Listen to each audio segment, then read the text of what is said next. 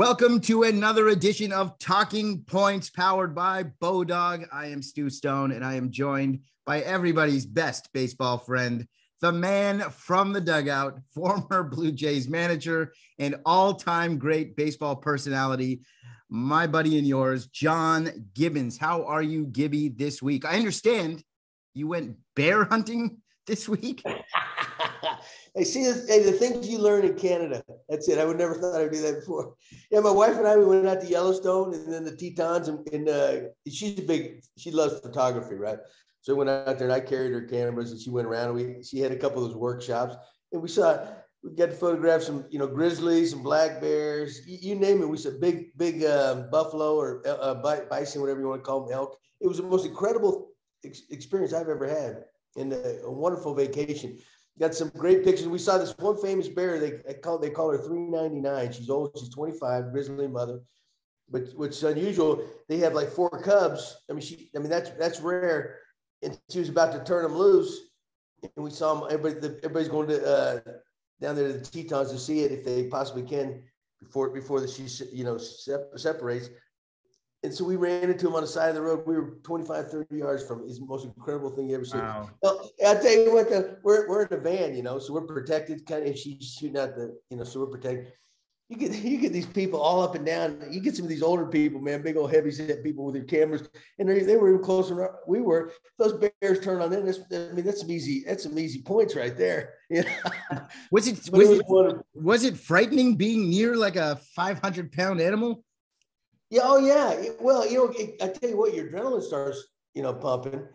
But you know, we were we were in the van, so he wasn't going to get us. I was just thinking about those other bozos out there. You know, that's something I would have done if you know if the if the guide had let me. So what's scarier, going and photographing a bear from like 20 feet, or being in the batter's box against Randy Johnson? Well, since I never got in the batter's box get ready. Well, remember John Kruk in the All Star game? I know it was a little hammed up. The ball went over his head. And he he went down there. He was like, uh, "Hey, hey, yeah, yeah, hey, Randy's got nothing on them Grizzlies. I'll tell you that." You're probably right. Uh, right. Let's get into some talking points. Uh, the first talking point. I mean, since we last saw you, I mean, at the time of this recording, the Blue Jays are losing a lot more than they're winning this month uh it's the it's the dog days of may i guess. And you've been there before where you know april may slow start for some players. We were asking last time for how does bo bichette turn the season around. Seems like bo found his bat. At the same time everybody else forgot how to swing theirs.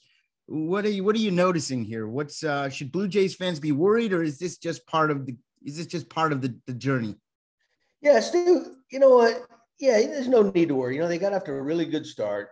You know, the one thing about baseball, you know, you go through a whole lineup, they, they're going to go through some ups and downs. It's very rare that everybody's clicking at the same time for any length of time. That's just part of it, you know. The, you know, the better teams, they have they have more firepower, so they stay out of those valleys, you know, the, the shorter period of times. And sometimes their big boys come through for them, you know. And uh, you know, that's what that's why it takes veteran veteran guys on the team, guys like Springer, you know, that uh, there's been there before. He'll help get these guys through because they're too talented, right? Now they've lost some tough games. Yeah, I guess he went down into Cleveland, and you know nobody really knows how good Cleveland is right now. And they, they I think they lost two out of three, wasn't it? And then uh, uh, two, yeah, yeah, three out of four.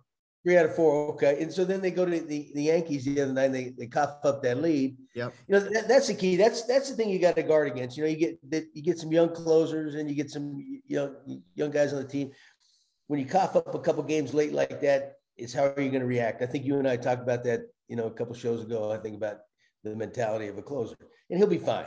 You know, Jordan will be fine. And then, uh, but that's part that's part of it. No, you know, everybody loses sixty. Everybody. Right. That's what I'm saying. The best team in the league, the number one league t- team in the entire league, is going to lose at least sixty games.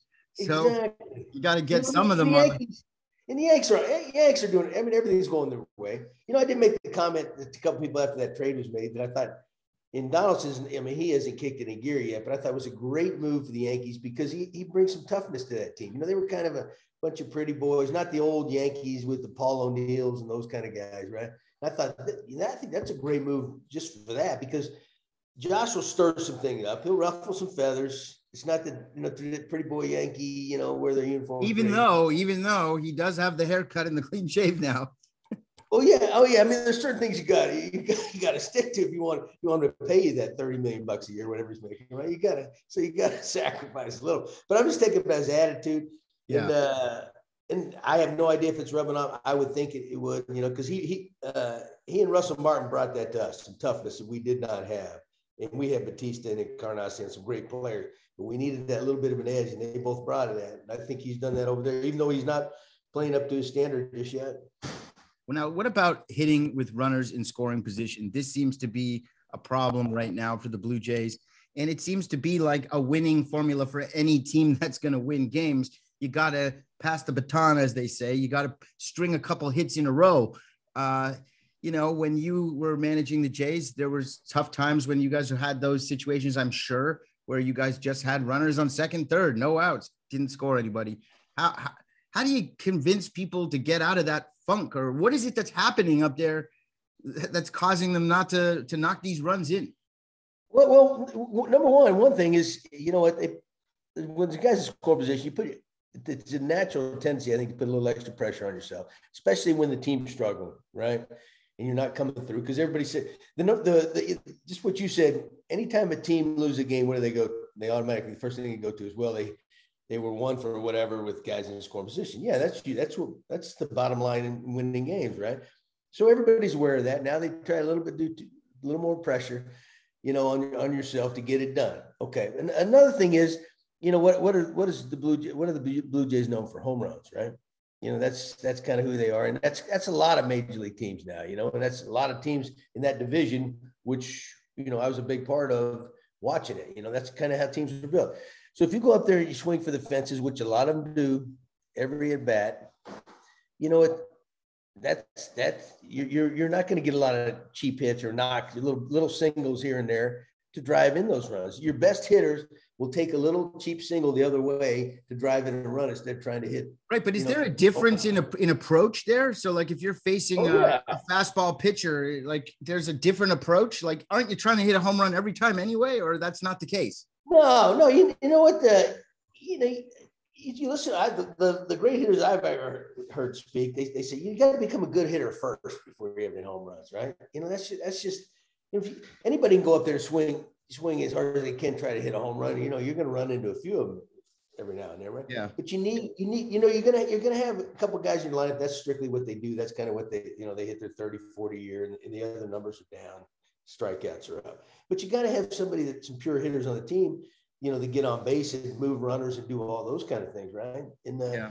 you know, you look at Josh Donaldson. You know, you know, Josh is one of my favorite guys. You know, he's a Yankee now, which I dislike, but he's Josh will go up there, and you, you if you watch him, is some game, some some at bats he's turning it loose, right? And he's trying to let let it fly. And he plays a lot of situations, baseball situations.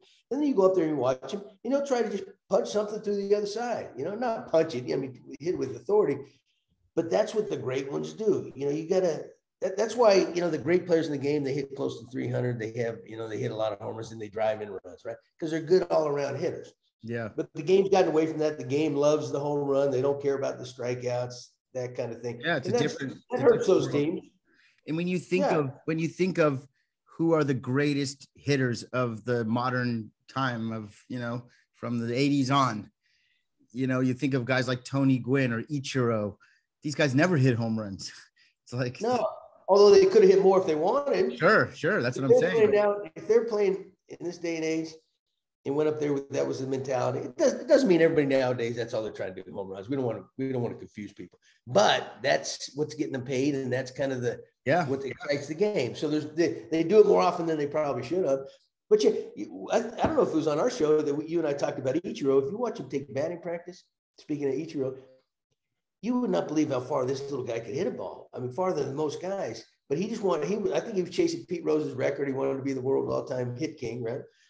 And uh, he was just he just punching out there, and it drove some guys on his team crazy. I remember listening to some some of them talk, but that was his game, and you know what? He did very well for. Maybe yeah. Uh, maybe Pete Rose bet against him and cashed in. ah, uh, did he win or lose? yeah.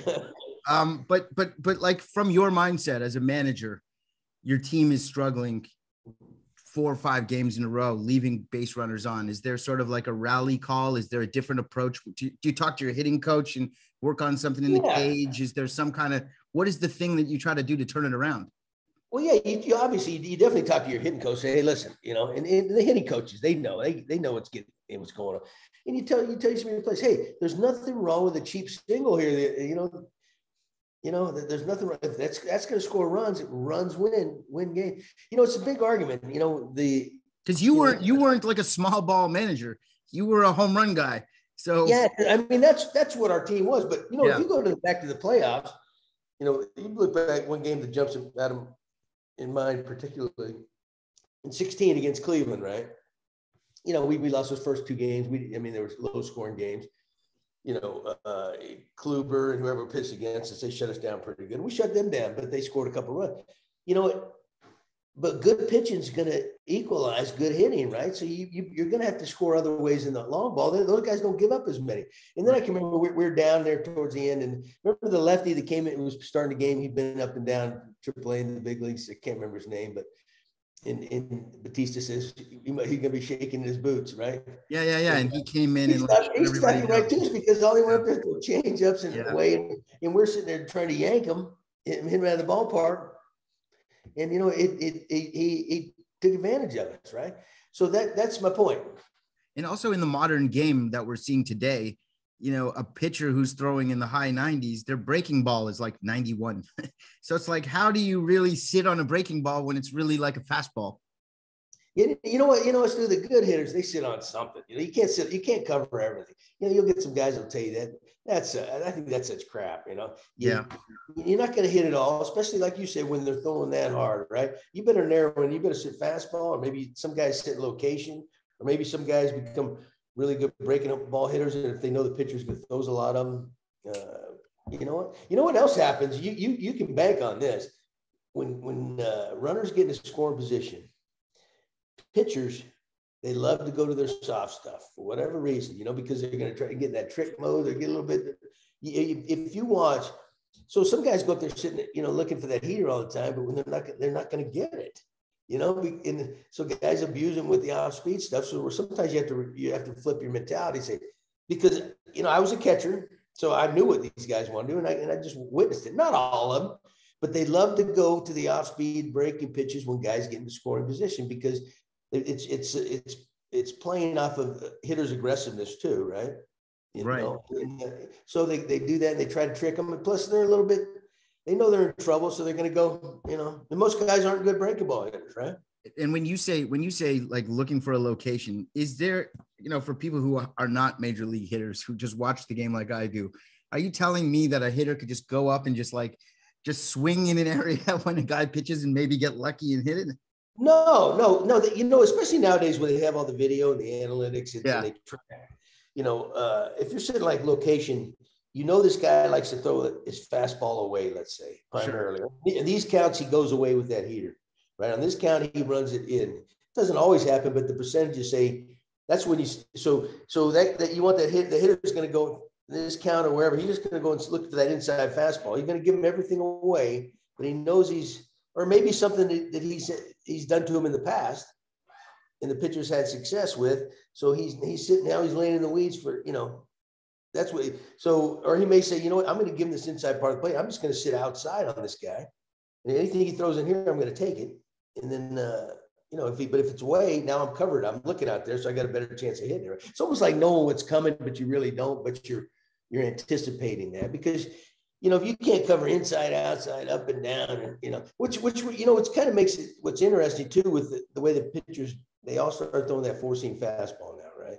They, if they, they get, if they if they can grip the ball, yes. Yeah, well, yeah, yeah. There you go. I don't know. Yeah, so this new stickum or something might have influenced it the other way now. But you watch guys get two strikes on, on, a hitter, they automatically elevate that fastball. Yeah. And hitters hitters know it's coming, right? Because that's almost and it's still tough to catch up with that thing, you know. So that, that hitting hitting's tough, but in it in it in it uh, that's why the greatest you know used to be when when batting average man you know 300 hitters. Yeah. You're still failing all the time. I've, I've, you've told me that before. I've heard well, you say it. Well, one thing is that hitting is contagious too, and when you see you know guys can string some hits together all of a sudden everybody can start hitting. And that might have to do with like a pitcher losing, you know, it's a mental game. A lot of it is a mental game. The batter's having an inner dialogue at the in the in, in the box, the pitchers, who knows what they're thinking, the catcher's trying to figure out what they're doing. There's so much thinking going on. Yeah, and you know, us as humans, you know, confidence is everything, right? We yeah. through our I don't care what is it. We're feeling good about something. It's like when you make a, you make a movie or something, or you do you know, you know, this is this is your great movie. You got it. Everything's flowing. Okay, you're feeling good. You know, if there's something you might, well, do I want this? You know, I don't know how how you make movies, but I'm guessing there's maybe, well, maybe we should do this and that. You know, so it's kind of similar. You know, sometimes, man, this is it. We're going boom, full speed yeah. ahead. And then, but you know, that that that confidence can wane just a little bit, and that's all it takes to struggle. Well, you it sounds like you're not worried, but like maybe uh because uh, I know yeah, I hunt bears, man. I ain't worried. I hunt bears. That's right. Uh, historically speaking, I know that you have managed some superstars that had come had had slow starts. You know, I think of Russell Martin had a really slow start one season. You stuck with it. He came out of it eventually. I know Jose Bautista even had like a really slow start, and then once he started going, he started going. But Matt Chapman uh, is the new sort of poster boy for slow start. Now that Bo is sort of snapped out of it, Matt Chapman, as of this recording, batting in the hun- high hundreds. Uh, you know, there's a big signing or a big trade, I should say, in the offseason. People thought he could be the second coming of Donaldson. We know he's got the platinum defense. Uh, we know he can hit home runs. He's never been a big average hitter, but you know, having him in the sixth spot, batting up, you know, below the Mendoza line, that's not ideal. What, what's going on there? Is that just adjusting to a new division? Is that just wait it out? What, what, do we do here? Well, Stu, that's another thing. You it doesn't always happen, but it happens probably more than it doesn't. When guys get traded to a new team or they they sign a big free agent deal, right? He, he got traded, but then he signed a nice two year extension, I think. Yeah. Right? Okay, so there's a lot of money. In in uh, you know, some now other he's maybe I'm sure like everybody else, he's feeling a little bit. He wants to justify it. He he wants to thrill his hometown country, not not city, country. You know, so a, a little added extra pressure, like we talked about. It it it eats at guys. You know, and it, they're not they don't do things as naturally. And a lot of times you'll too, you'll see guys might first year of a trade or free agency, they might struggle a little bit or something. It's a, it's a then they come back and bounce back and they're they're their normal guy because now they're more settled in. Right. So that, that's not uncommon. You know, if he had never had good years in the past, you might worry a little right. bit. And I, and I, think and I think of Francisco Lindor a little bit, even though Matt Chapman's obviously right. not. Perfect. Even Perfect. though Matt Chapman is not Francisco uh, Francisco, uh, you know what I'm saying. Right. But right. You know, he was brutal last year, and he's still a superstar. Uh, you know, so you're saying wait it out, Matt Chapman. Don't worry. Well, yeah, I mean, I, I don't know how he's going to also drop off the map and, and become less than average Joe, you know, from what he's done in the past. I guess it could happen, but I wouldn't. You know, the thing too, you talk about he's hitting sick, or I'm, or you know, guys hitting in the lineup, hitting home runs, or hitting with guys in scoring position. It used to be you put that, you know, you always had your four or five hitters with your sluggers right in lineups. That six, that six hole guy was that guy that was a pure, a good hitter. Yeah, if, it was great if he had some power and some things like but he, because if those big donkeys in the middle, they, they struck out a lot, they, they leave that guy out there and there's two outs. You want that guy that come to the plate that, can sure. move the baseball a little bit. And you know what? He might get it done instead of like three guys going up there just whiff, whiff, whiff, whiff you know? So that's, that is it. Although it's not the top of the lineup, it's very, very uh, important spot in that lineup. At least it used to be. All right, let's move on to one more guy that we've seen some incredible frustration. Vladimir Guerrero Jr specifically in the Yankees uh, series that we just saw earlier uh, in the week. He smashing his bat, breaking it over his knee. This is a new Bo Jackson kind of Vlad that we haven't seen before, where he we're actually the smiles are are still there, but now they're turning into like breaking a bat over his leg. So what's going on with Vlad in your opinion?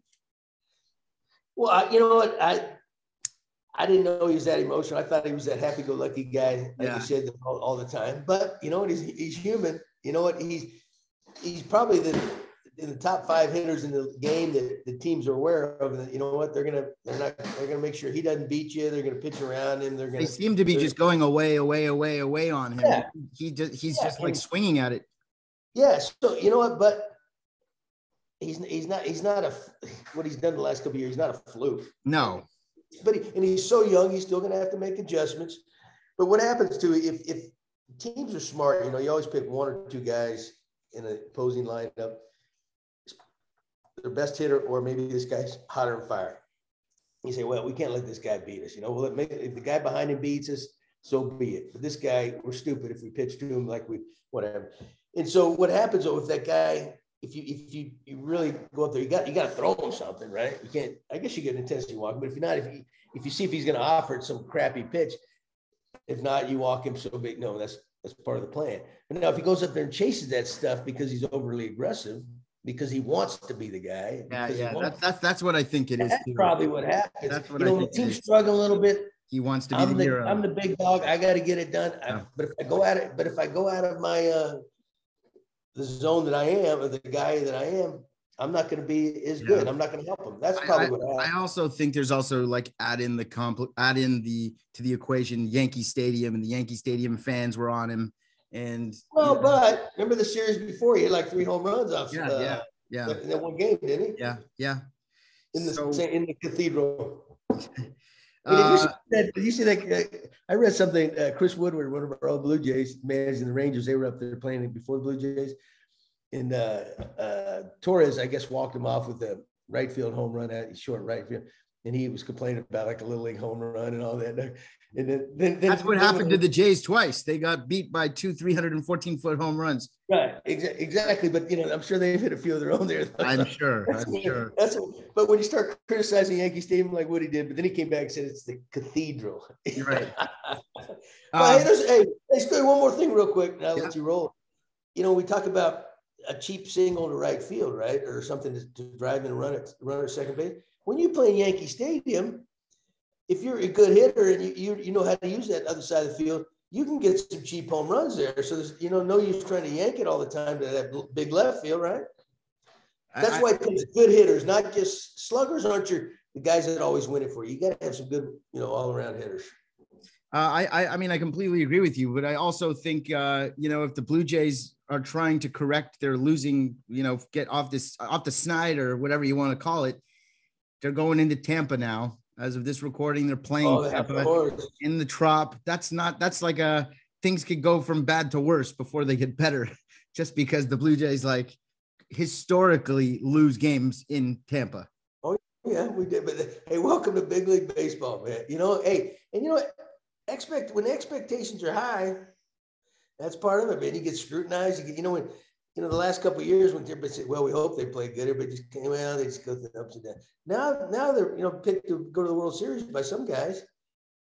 You know, yeah. now you get a little more scrutiny, you know, now yeah. that now there's a little more heat on you, it's tougher to play. It, you know what? It's, it's, Stewie, it is tougher to play when, when you got to win than when you, you know, when you don't, when you're just kind of, well, okay, we're rebuilding all that. Now that you got to, it gets tough to win when you absolutely have to. That's why the teams, when you go down the stretch in September, in their must-win games. Well, if you'd won a couple more back in April or May, you might not have to do that. But the heat's on, and when you when the heat's on you, and especially in the sport that's uh, more of a skill level, it gets that much tougher to play. You know, and that's yeah. you know that's and what losing streaks do to you too. And in this, and in the irony of sports, uh, I don't know. By the time people watch this or hear this, it might be already past. But Toronto playing Tampa in baseball, Toronto playing Tampa in the NHL playoffs. Oh, oh, what's what, what's it? Is it two two or three? It's three two Leafs as of this recording. So by the time so by the time people hear this, the Leafs may have gotten out of the first round for the first time in 20 years and pulled off a Gibby miracle of their own. Uh, we'll see. Been that long since the first round? 20 years. Yeah. Wow. Yeah. Well, Tampa's good too, aren't they? They're the two back-to-back champs. Oh, did they win the last two years? Oh, yes. yeah. Yes. Where's the where's, where's the where's the next game at? It's in Tampa. Okay. It's it's in Tampa. The, the day we're recording this, it's in Tampa.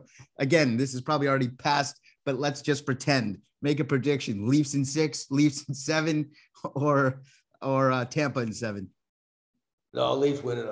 Leafs may win it. Leaf, I tell you what, if the Leafs win this series right here and get that monkey off their back, which they're you you can go you can say you know they're dudes they're all there but but they're good they get that they may win it all right yeah I agree now they, they get that off everybody exhales a little bit now well let's go boys we got yeah. you know what That's the toughest one. That's the toughest one. They may win all. They're gonna they'll win. They're, they're gonna they're gonna close it out. Why right, well, they? hopefully we'll find out if you're right. I, I hope so. Tough, tough, Canadians, man. Hey, Toronto deserve. Toronto fans deserve it. I agree. Amen. So hopefully by the time people hear this, it's already happened. Go Leafs, go. Is that a Leaf jersey you got or is that a no? We'll, I'll show you what it is shortly.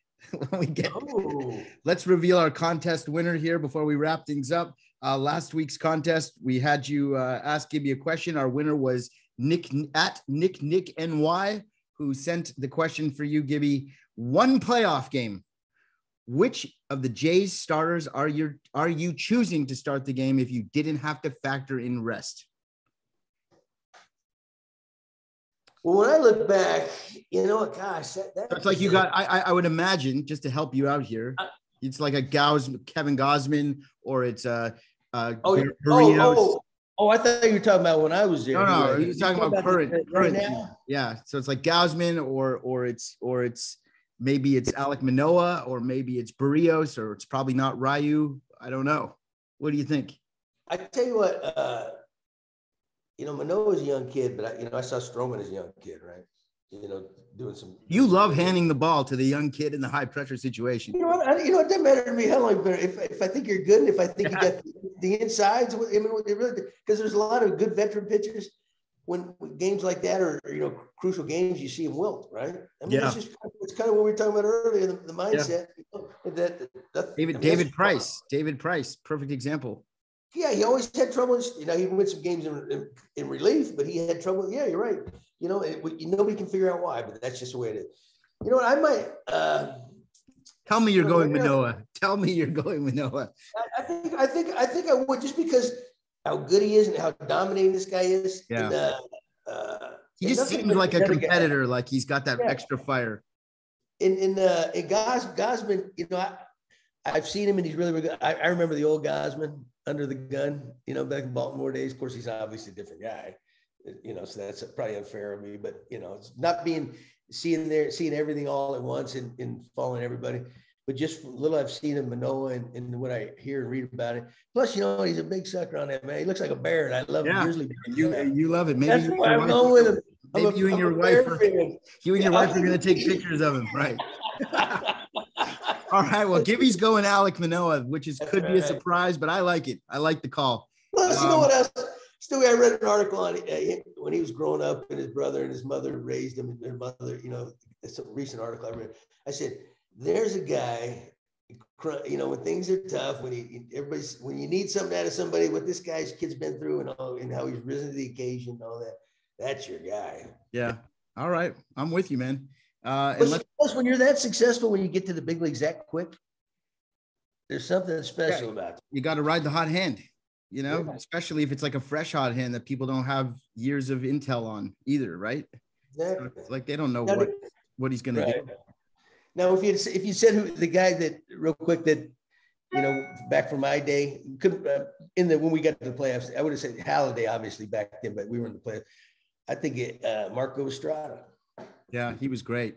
Oh, in the big games in the, in the playoffs, what he just like even keeled.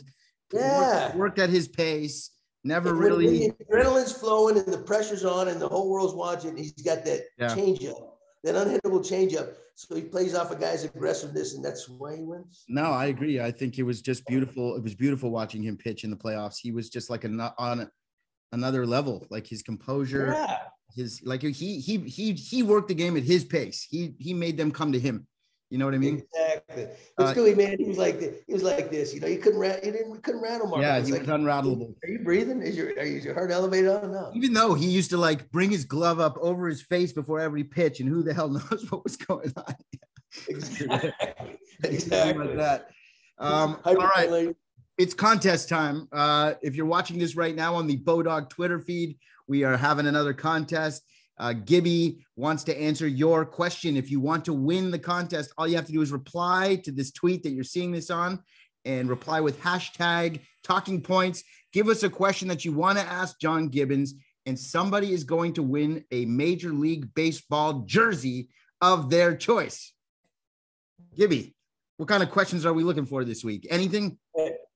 Anything. Come on. You fire out. It can be good, bad. It could be embarrassing to me. It could be, you know, stupid. You know, Gibbons, how could you be so stupid back then, or whatever, whatever, or you, you see, or hey, Gibbons, you just confirmed you are an idiot. You don't know what you're talking about, just like we thought years ago. You could ask anything. All right. Well, you heard it from Gibby. Ask anything, reply in the comments. We're going to pick a winner. Your question will be answered on the next episode of Talking Points. Uh, good luck. And as for the jersey I'm wearing today, what? Ooh, what is this? Dominicana. Dominicana number 19. Who's that? Are you from the Dominican? No, but Jose Bautista is. Oh, Jose. That's Jose 19. Was Jose 19?